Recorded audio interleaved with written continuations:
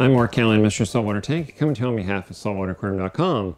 And this is Mr. Saltwater Tank, RUF, raw, uncut, first impressions, the show where I call it as I see it on products that I haven't seen before. And today, we're talking about the new Neptune Systems Apex A3 Apex.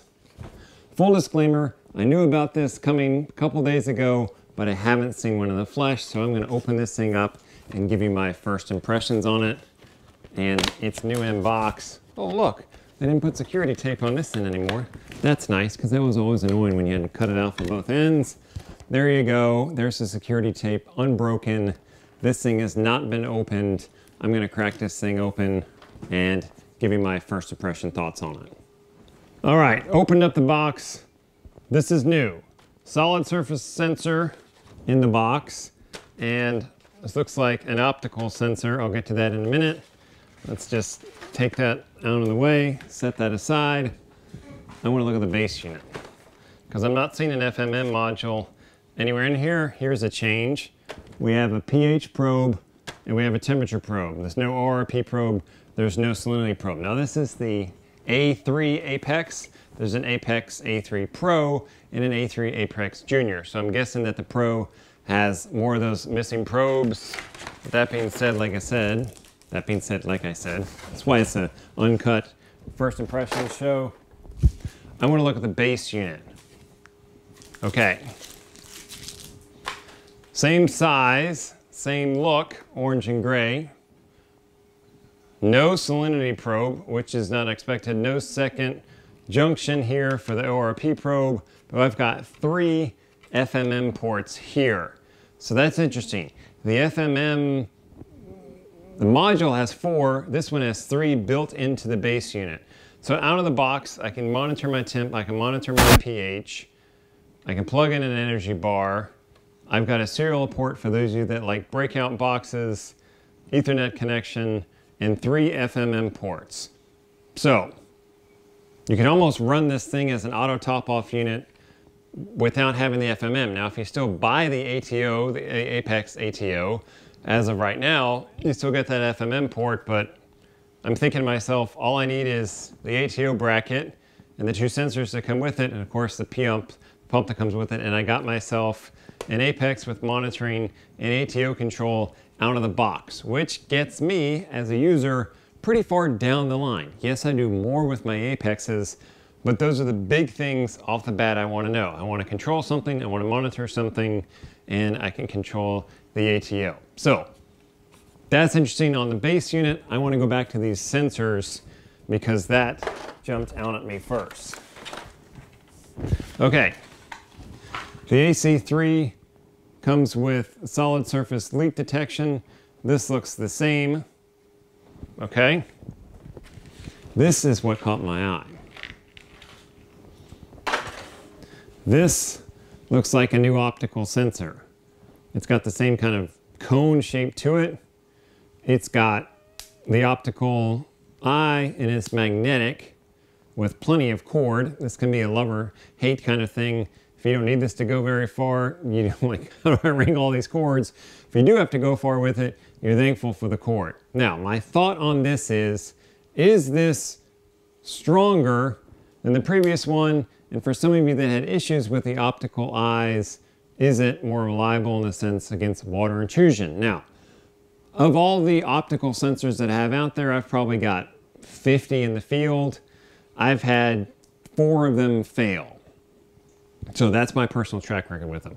My big question is, is this stronger than the previous optical sensor? Because a lot of times I'm putting them on my industrial sumps, which is half inch material, and the magnet holds pretty good but not as strong as I like. So I'm gonna look at the optical in a separate episode.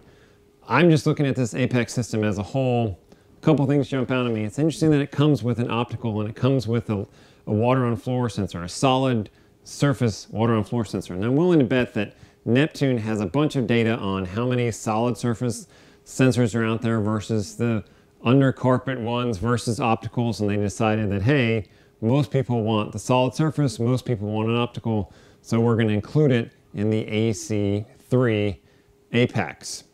Still getting used to this FMM ports built in to the base unit. I really would like, I'd almost love to have one of these with a Neptune Systems ATO, and that's an Apex unit. Because as a new user, that's gonna get me pretty darn far down the line.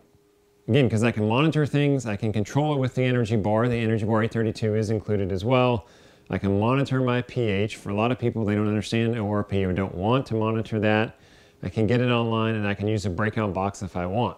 So why not include, like make an Apex version that's this with an optical or two. I like the eye, I like the water on uh, floor sensor because this tells me how high the water layer is in my sump, if my sump is getting too high or too low.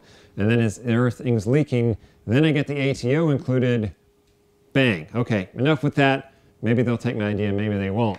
Overall, here is an Apex system that gives me, for a lot of users, everything they need. Temperature monitoring, pH control, water sensing, that's built in.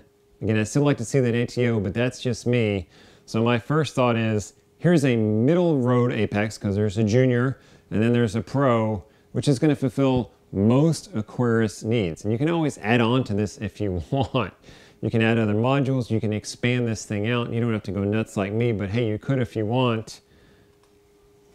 Okay, so here's something else that's hitting me.